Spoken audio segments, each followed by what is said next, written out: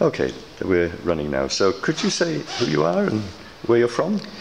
My name is Jolyon Goodman, and I live in Dorset now, but was part of a family of West Midlanders who lived outside Birmingham and regularly came to the Ardudwy part of North Wales for holidays Yeah.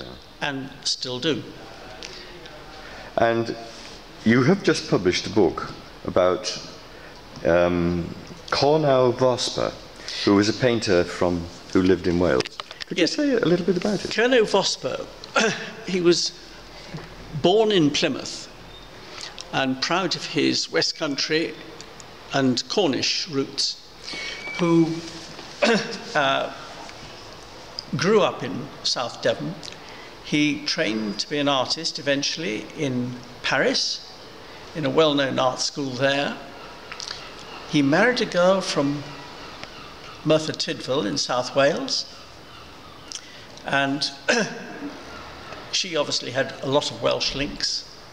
And so he spent a number of years visiting North Wales, particularly the area known as Ardudwy, between Barmouth and Harlech on the Cardigan Bay coast, The town itself is Llanfair, really, isn't it? and Llanfair and Llanbedr Llanfair, yes. were the two villages around which uh, he centred his work, and there are about something like 10 paintings that are mostly located within a few miles of those two villages.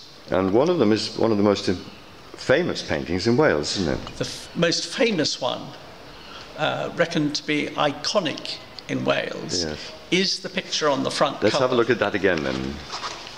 of the inside of a Welsh chapel, Capel Salem, and all the figures in it who are just getting ready for a service on a Sunday morning. They are all known where they lived, and that has so much to be typical of Wales hmm. and the Welsh that that was reproduced many, many times. Hmm. And